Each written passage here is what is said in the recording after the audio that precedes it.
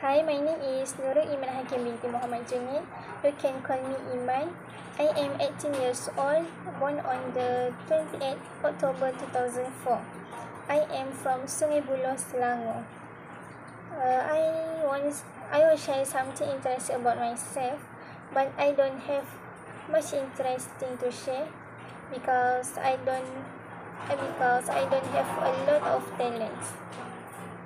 But I can say that I can write poetry, but I can say that I can write poetry according to my mood.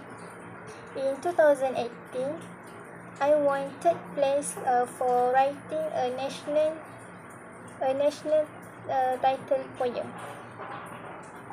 Um, I also like hiking to improve my health and stamina for internet connection to me sometimes internet connection is good and sometimes not. Therefore i i prefer to tutorial class because it is more easier to understand and less distraction. For economy subject i have never studied economics before.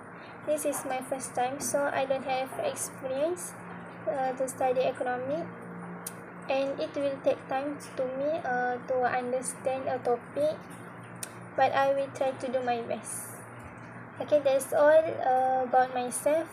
Thanks for watching a video